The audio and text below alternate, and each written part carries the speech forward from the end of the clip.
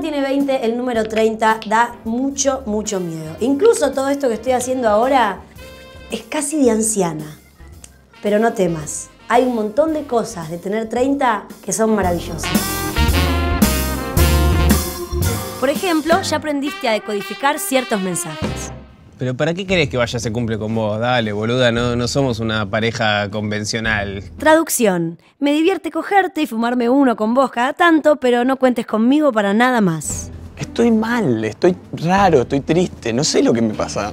Traducción. Sé exactamente lo que me pasa. Te quiero dejar, pero me da mucha paja decírtelo. Nada, es muy amiga mía ella, muy... Aparte tiene 20 años, es, muy- es- es como una hermana para mí, una hermanita. Traducción. Me la cogí un par de veces, la minita está re conmigo y me interesa tener una boludita enamorada dando vueltas que me levante el ego. Tenemos que agradecer que nos tocó tener 30 años en el 2012. Las cosas realmente cambiaron. ¿Por qué te casas?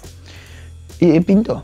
¿Pero sos gay? No, no, no, no, le pintó a la mina. Ah, pues yo pensé que los gays se casaban ahora nada más. No, no, no. Es que es muy religiosa. No, cero, cero, pero le pintó a la mina. Rarísimo. Rarísimo. Cuando tenés 20 años, puedes estar horas y horas hablando del pibe que te gusta. Lo re amo, o sea, lo amo re fuerte. Tipo, me manda mensajes de texto todo el tiempo, yo siempre se los respondo. Hablamos por teléfono, tipo, horas. El otro día nos quedamos hasta las 5 de la mañana hablando por teléfono y dije, chavo, este chabón, boluda, este chabón me reama y yo lo reamo. Ay, los reamo, a los reamo a los dos juntos. Sí. A los 30 te da paja contarlo y a tu amiga escucharlo.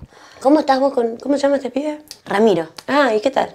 Un copado. Qué bueno.